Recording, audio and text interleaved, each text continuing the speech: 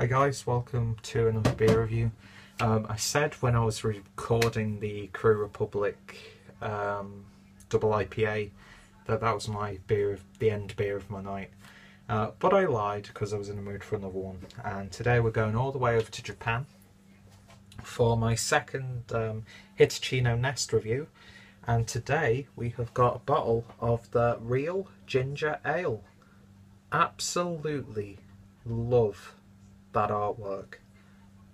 I love Hitachino Nest's logo. I'd love either a t-shirt with just a big logo of that on, or maybe some glassware, because I know Rampant Lion Beer Reviews has got um, sort of like a pint glass of that with that logo on. But um, yeah, it, it just looks good. There's something about Japanese culture when it comes to little illustrations, little characters. Um, I've got like a little graphic design book back at back in England of like just it like collects photos of like um, signposts and like even the fire departments in Japan have let their own little mascots. It's just I love that sort of stuff, and uh, yeah, looks fantastic. So yeah, it's a it's a beer brewed with ginger, or an ale brewed with ginger. Uh, ingredients are malted barley, ginger, and uh, yeah, that's what it says really. I'm not too sure what hops would be used in this. But the beer is something of a heavy hitter, clocking in at 8% ABV. And uh, yeah, this is my second review of a Hitachino Nest beer. The only other one I had was the um, their coffee, no, their espresso stout, which was absolutely fantastic. I did that for my 100th review. But yeah, I was just in Birretta returning bottles today, and um, I've been wanting to pick up a new glass, so I picked up a new glass, and I thought, you know what, I'll pick up a beer as well. And uh, yeah, I'd seen this one um, on the uh, beer lager website because we were going to go there in Cologne, but Cologne's such a chaotic little city, and we just couldn't be bothered. And uh, this was one of the beers I wanted to pick up, but Birretta had it. So um, yeah, eight percent beer, ale brewed with ginger. I do like ginger ales, you know, non-alcoholic and alcoholic. I've had some nice alcoholic ones. And yes, I even like Crabbie's um, alcoholic ginger beer. So I'm looking forward to see how this one turns out, just how um, how well incorporated and how well that ginger comes out with it. Um, but yeah, beer in a glass, and that's a nice deep dark brown, slight reddish hues to it uh, a slight oranginess as well. Beer poured with one finger's worth of slightly brown tan coloured head. And uh, in terms of carbonation, uh, there's small amounts. It looks a bit more reddy oranger now actually. Now I've got up to proper light. Um, it's got some haze in there, but you can in the light see through it. But it looks really damn good. I just love how vibrant it looks for such a, a deep colour, it's got a real sense of vibrancy to it. So, let's see if we can pick anything up on the aroma. Well, I'm picking up a cinnamon there. Maybe a slight bit of ginger. Um, you're not really picking it up too much on the aroma, it has to be said. But it's definitely there. Um, I think they've used uh, ginger, like a root of ginger in the boil for this beer. But it's got like this cinnamony, nutmeg, sort of spiced, slightly sweet character to it. A little bit cakey. But yeah, you do pick up that ginger. Like a ginger cake. You know, like a ginger loaf, that sort of thing. It smells nice though even though I was expecting a little bit more pronounced ginger on the aroma. Anyway, let's see how it tastes. Cheers.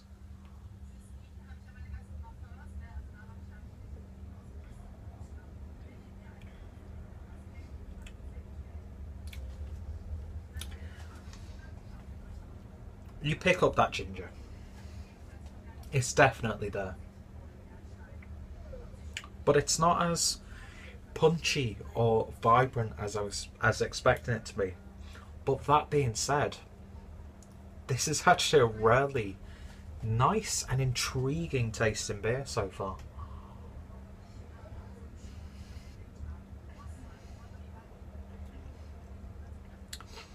Quite cakey, actually. Again, picked up a cinnamon on that flavour. Um, there's like an earthiness to it, which I'm going to attribute to the um, the ginger.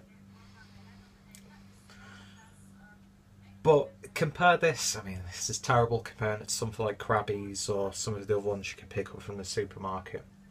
That sort of ginger, it's like really quite out there. Albeit, most of the time, that's like a really synthetic ginger flavour. This actually has the ginger and it tastes like real ginger. But I don't know, for me personally, it could be a little bit more. Like you can get these like um, natural, like ginger ales, like Jamaican ginger ales, that sort of thing. And you pick it up and you can tell that it's there, it's a bit more earthy, it's a bit more pronounced, it's got like a freshness about it.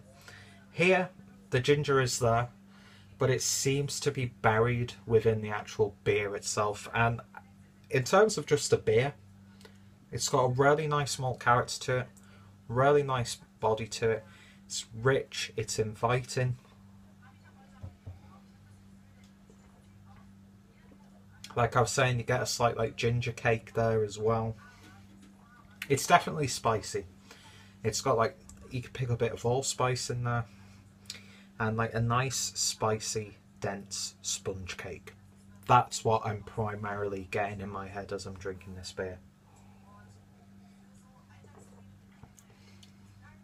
Maybe a slight boozy note from that 8% ABV, but nothing offensive on the palate.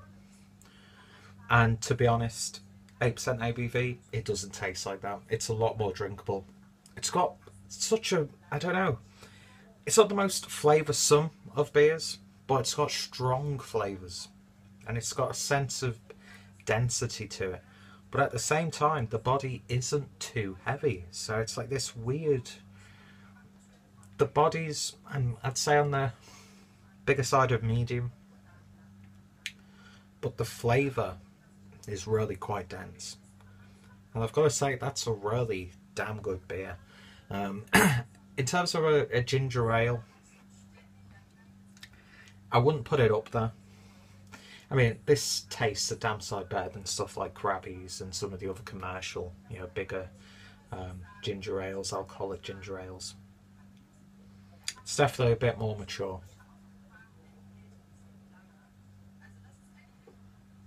And it's definitely not what I was expecting it to be. So, there's a tiny bit of disappointment in there, but at the same time, what is in there more than makes up for it, and it is a damn good little brew. So it's definitely an easy 8 out of 10 from me. This would be absolutely perfect for autumn. If you're getting bored of drinking pumpkin ales and pumpkin spiced beers, that sort of thing, this is the perfect antidote to that. It really, da- really is. Really damn is. That's not a proper sentence. But yeah, I actually really enjoyed that. Um, if I could find it a little bit cheaper than what I paid for it, I'd probably pick it up again in a heartbeat. And I'm sure, you know, if you go to different places, they'll charge different amounts for it. So for the right price, this is perfect autumn drink. Perfect for like Halloween, uh, to go with your pumpkin ales, or like I said, perfect if you're getting bored of these pumpkin ales and you want something new, then this is definitely, definitely one to go for. I've only tried two beers from Hitachino Nest so far, and they've been very intriguing in their own way.